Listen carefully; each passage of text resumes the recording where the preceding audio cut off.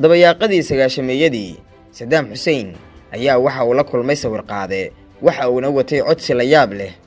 Sadaam xuseen oo xukunka qabtay kun iyo sagaal boqol iyo sagaal iyo toddobaatankii waxa uu ciraaq sii xukumayay ilaa duulaankii maraykanka uu dalkaasi ku qaaday sannadii labada kun iyo saddexdii. Waxa uu doonayey inuu noqol ka sameeyo kitaabka qur'aanka ah wuxuuna adeegsanaya dhiiggiisa si loogu qoro kitaabka qur'aanka ah. Sida sheekada ku cad sadaam xuseen waxa uu toddobaad kasta uu gacan sii jiray kalkaaliyo caafimaad muddo laba sano ah si uu u soo saaro dhiiggiisa looguna isticmaalo qorista qur'aanka. Inkasta oo kharash badan uu ku baxay tafaasiisha laga hayo ayaa haddana ah kuwo dad badan ay ku wareereen. Laakiin sida ku cad sheegashooyinka soo noqnoqday sadaam xuseen waxa uu isticmaalay afar iyo labaatan litir oo dhiig ah si loogu qoro lix boqol iyo shan bog oo ka kooban boqol iyo afar iyo tobanka suuradood oo qur'aanka kariimka uu gebi ahaantii uu ka kooban yahay.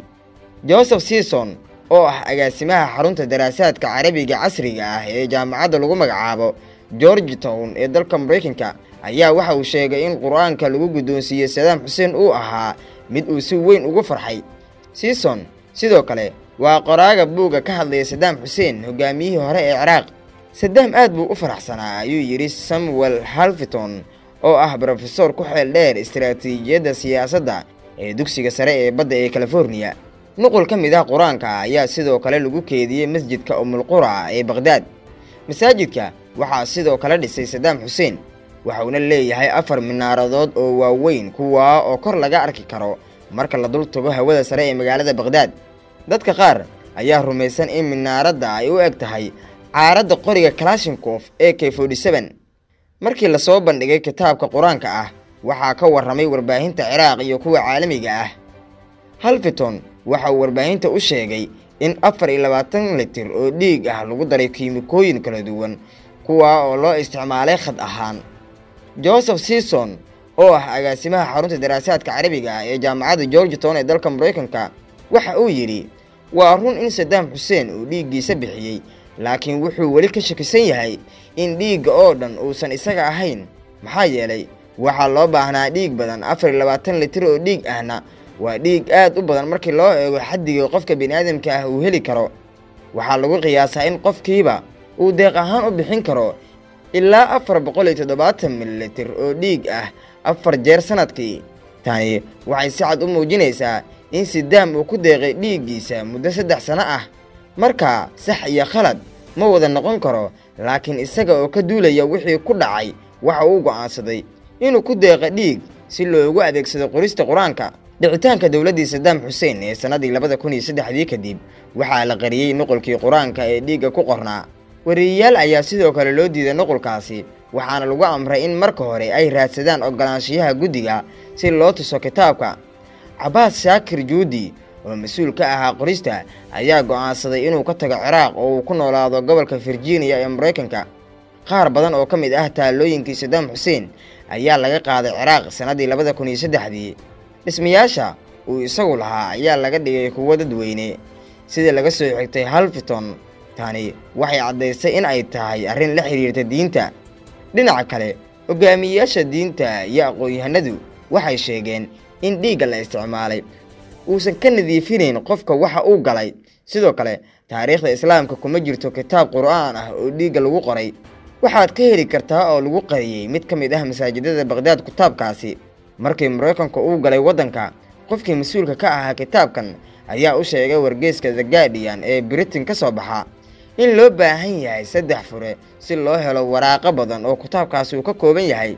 Furayaasha mid waxaa haystay sadaam midna waxaa haystay taliyaha booliska halka midka saddexaad uu yaallo bakhdad season waxa uu leeyahay qur'aanka dhiigga lagu qoray waxa uu tusaale u yahay sida keligii taliyaha uu adeegsan karo wax kasta si uu u gaaro himilooyinkiisa siyaasadeed iyada oo aan loo eegin diinta.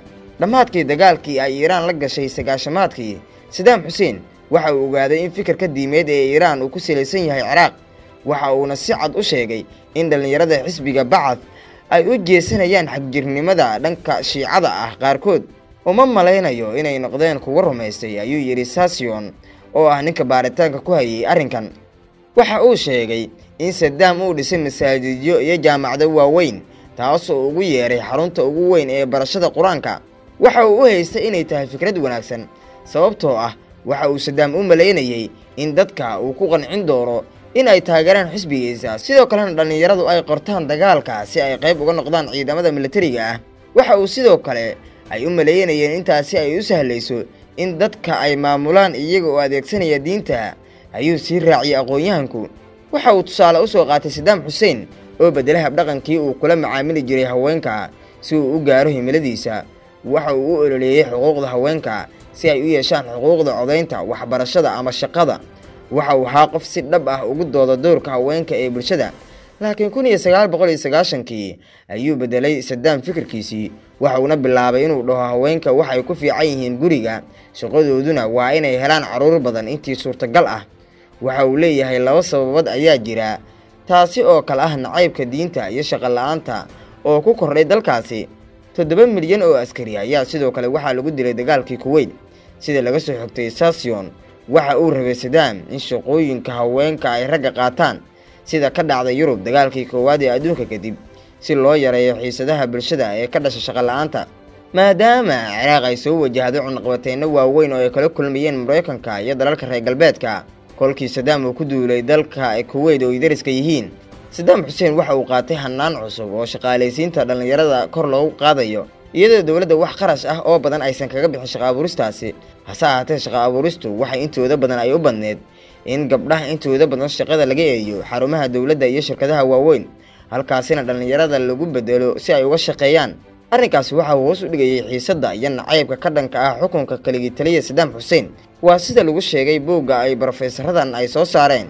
Hase ahaatee aragtitaa ka duwan ayaa waxaa qaba khubrada inta badan muslimiinta sunniga ah ee ciraaq iyo qaybaha kala duwan ee caalamka ku sugan kuwa uu inta badan sheega in sheegashada kitaabka dhiigga lagu qoray iyo sheekooyin badan oo laga wariyey sadaam xuseen ay yihiin kuwo kuturukuteen ah oo aan dhab ahayn waxaana sadaam xuseen qaybo badan oo muslimiinta ee dalalkooda ah lagu aqoonsan yahay inuu ka mid yahay mid ka mid ah madaxdii ugu wanaagsaneed ee qarnigii labaatanaad soo martay guud ahaan caalamka islaamka waxaana lagu xasuustaa in soddon iyo sagaal gantaal uu ku dhuftay magaalooyin ay ka mid yihiin dhulka ay haysato israa'el ee falastiin ay leedahay.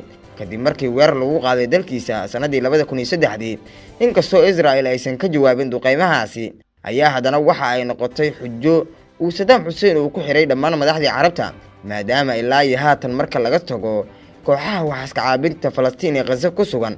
Aanan lahaynin dal kale oo carabeed ama muslim ah oo sidaasi la mid ah gantaal lagu garaaca dhulka ay in ka badan toddobaatanka sano ay gacanta ku hayso dowlad ku-sheega israa'el oo gumaysi ku haysata dhulka dadka falastiiniyiinta ay leeyihiin oo ugu horreeya masaajidka barakaysan ee qudus